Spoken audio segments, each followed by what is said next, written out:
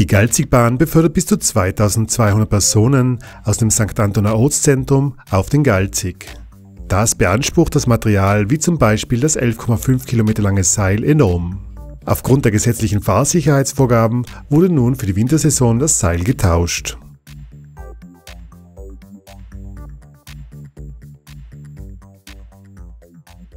Wir legen äh, zurzeit bei der Galzigbahn ein neues Seil auf.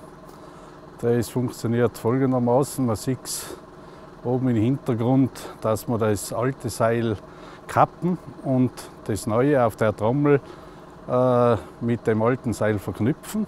Und äh, mit einer Winde wird das alte Seil dann aufgetrommelt und gleichzeitig äh, zieht das neue Seil auf die Strecke.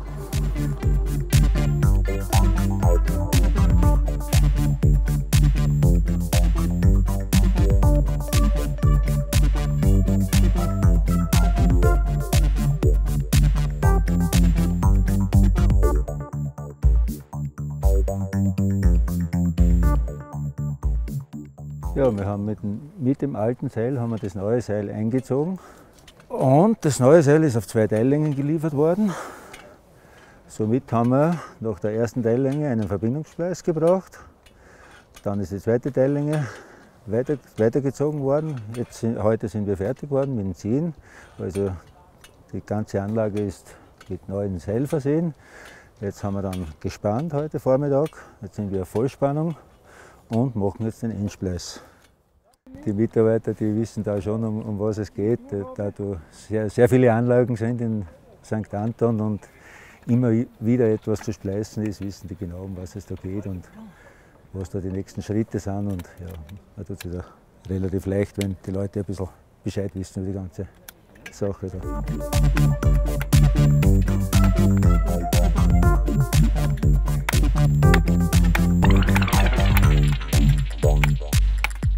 Qualität vom Seil ist sehr gut, äh, punkto Dehnung, weil wir da die, die, die Kompakteinlage da verwenden, die Plastikeinlage.